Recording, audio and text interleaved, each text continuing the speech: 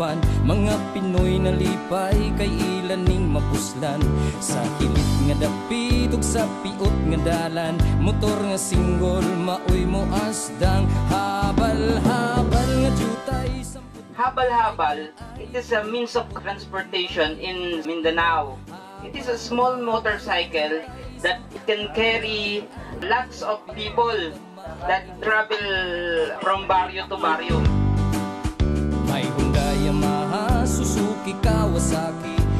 Motor Star, Lonsin, Iskay, Goksin Many farmers are asking, what is the variety? Then I told them, HHC 8, some dust, dyan, dyan, dyan, dyan. Then we call, ah, we can call it HH, meaning habal-habal. We compare it to GSR because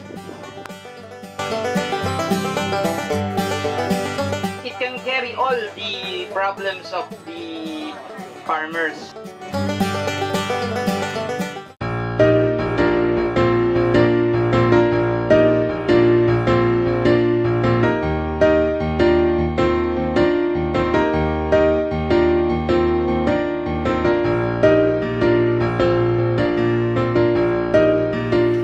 Si Rohel Dulamis. Po si Antonio Cautibon. Pwede kung tawagin sa amin. I'm Lucy Marquez from Ako po ay nagtanim ng GSR 2 at GSR 8. Tinamnan ko po ay 0.25 hectare. Ang nakaani po ako ng 26 kaban. Dati po ay 10 kaban. Yung magandang ani ko inabot ng bagyo. Nauna ko yung aking tanim. Pero umani pa rin ako ng mahigit na 50 sako. Isang. Papasalamat din ako kay Doji dahil galing sa kanya yung biniko. Bumagi ako sa kanya ng dalawang kabahan, pinaltak ko ng yung bambareting bordagol, yung masarap. Pahay naman siya, natikman niya raw, masarap yung aking variety. Pero mas maganda yung kanyang ibinigay sa akin na GSR. Kasi nung itanim ko sa bukid ko, akma doon sa bukid ko, doon sa palayan ko eh. Tumaas ang ani ko. Yung dati kong inaani, na 110, 120 per uh, hectare. Umabot siya ng hanggang 130 to 140 per hectare. Uh, nag-start ako sa green rice. Sa wet season, nakaya-ani po ako ng three, ah, 223 kabans.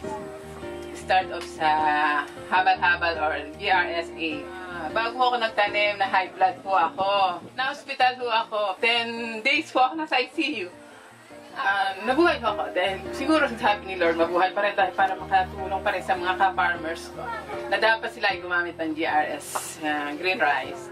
Ah, karanasan ko dito sa pagtatanim ng GSR. Napaka ganda po niyang itanim at dahil po napaka menos sa gastos kasi po hindi din po siya sakitin at ah, menos po rin sa mga pesticide yung ginagamit namin. Ang abono po namin na nagagamit po dito almost 7 sacks lang po yung aking nagamit.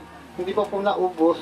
Yung po ay apat na complete at saka po tatlong urea lang po nagamit ko. Anong hindi pa po ako nagamit ng GSR, hirap na hirap po akong maka-recover. Lagi pong back to zero lang mo po ang even, break even lang po ang aking nangyayari. Pero nung dumating po ang GSR, ayun po, mapapatunayan ko po, nakabili po ako ng bagong hand pump ngayon. Tapos yung anak po, tuloy po ang pagka-college na nila. Kaya malaki pong bagay sa akin po ang pagtatanim ng GSR. Nung nag-GSR na po ako, ay hindi na po talaga ako nakaka... Sabi nga nakakakuha ng paupang pera. Kaya Salamat po.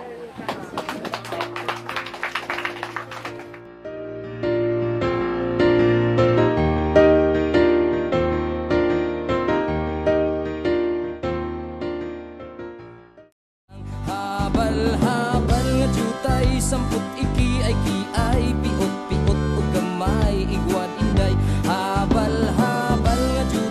Samput iki ay kiay